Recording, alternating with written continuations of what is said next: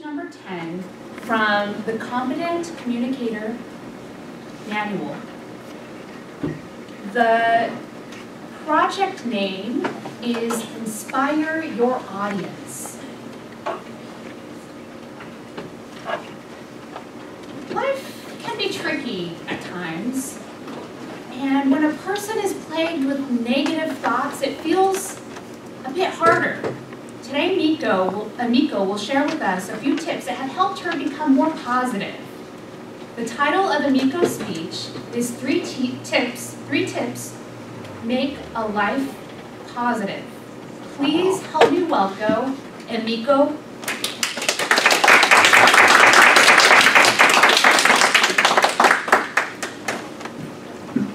Thank you, Madam Toastmaster, and thank you, fellow Toastmasters and dear guests. Many people don't know that I have three boys. Two are really nice and I'm always proud of. But one, first one, is always something. Interestingly, I am younger than he is. My husband.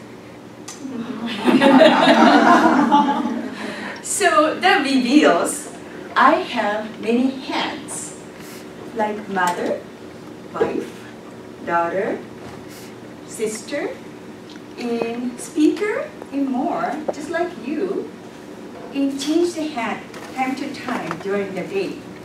If my emotions takes one place, it's kind of hard to move on to next. It sometimes ruins my days, weeks, sometimes longer. So I would like to share three tips that I learned over the years to motivate myself to be positive. Before I get in there, I would like to introduce one Chinese proverb. Sai Wen Shima, which means Mr. Sai's host. Long, long time ago, there was a man named Mr. Sai. He didn't need anything at all in his life but two. One is his host, the other one is his only son. One day, he lost one horse. The horse ran away from his yard. Neighbor came to him and said, sorry for your bad luck. Mr. Sai said, could be a bad luck, but maybe not. A few days later, the horse came back with a radiant female horse, the mate. And not only he was happy, but his son was so happy, so that he rode on the, the new horse every single day. One day, he fell down. From the day on, the son became disabled. Neighbor came to and he said, we are sorry to hear that about your bad luck. Mr. Sai said, it was a trage tragedy. It could be a bad luck, but maybe not.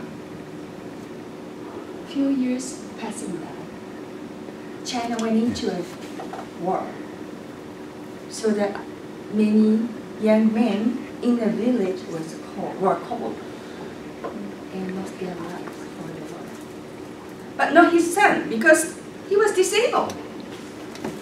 What I learned from here is every situation is not temporary. I mean, is temporary, I'm sorry. It is not permanent.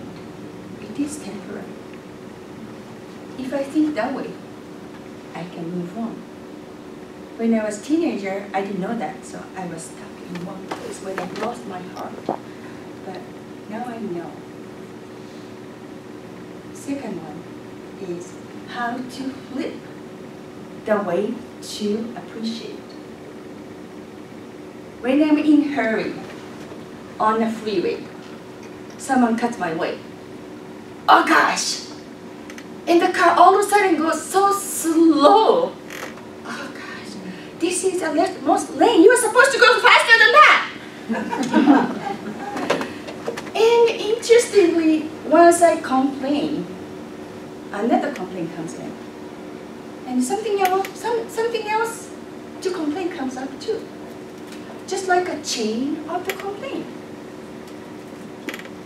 And what I felt was, oh gosh, I feel drain my energy by complaining each one of them and after one.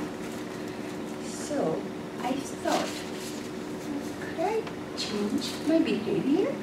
Because I don't want to carry this emotion like this.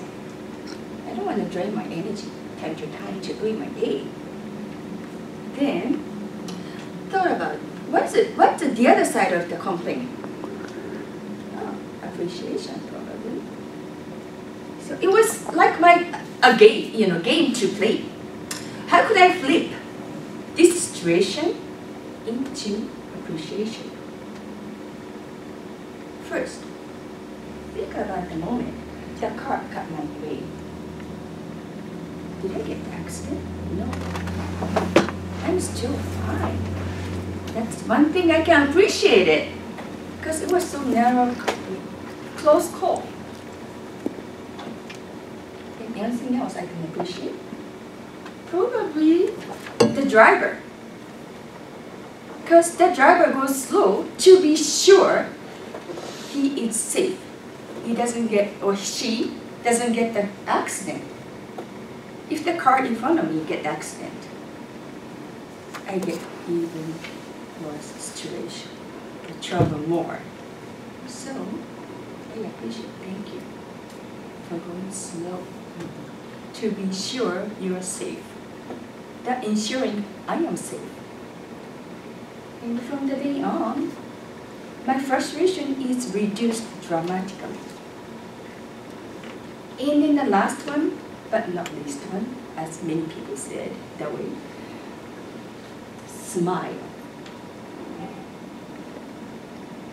Long, long time ago, when I was working on in an office in downtown Seattle, I had a bad day. I had to go out to cool, cool myself down.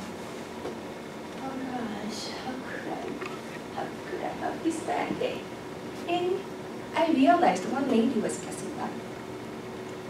As she walked towards me, I realized her radiant, beautiful smile. And that made me smile too.